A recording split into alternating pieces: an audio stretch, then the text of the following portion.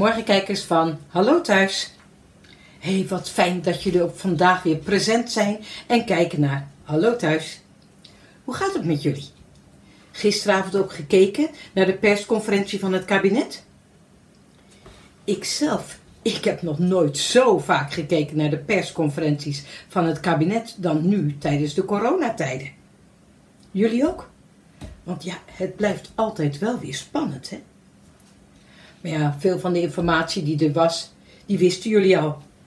Want bij Philadelphia hebben wij alle cliënten, medewerkers en verwanten een, al een brief gestuurd waarin we hebben verteld dat we ervoor zorgen dat iedereen weer bezoek mag ontvangen.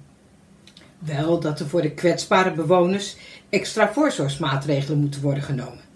Dat je even afspraken met de begeleiding moet maken, maar bezoek is welkom.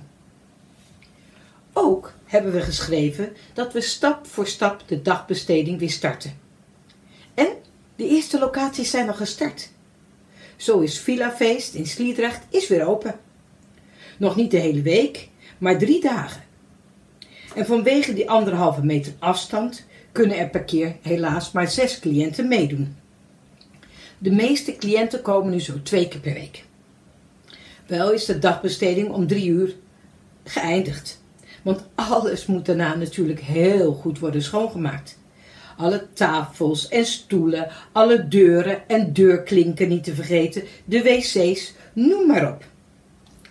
En uh, volgende week start ook de dagbesteding, de molen in Oldebroek. Daar zijn we nu bezig alles heel schoon te maken. Als eerste komen de cliënten die nu thuis wonen. Want zij hebben geen alternatieve dagbesteding gehad, zoals de bewoners op de woonlocatie. Je ziet, we zijn hard bezig stappen te zetten naar het nieuwe normaal. En tot die tijd, toch maar even kijken naar Hallo thuis. Tot morgen.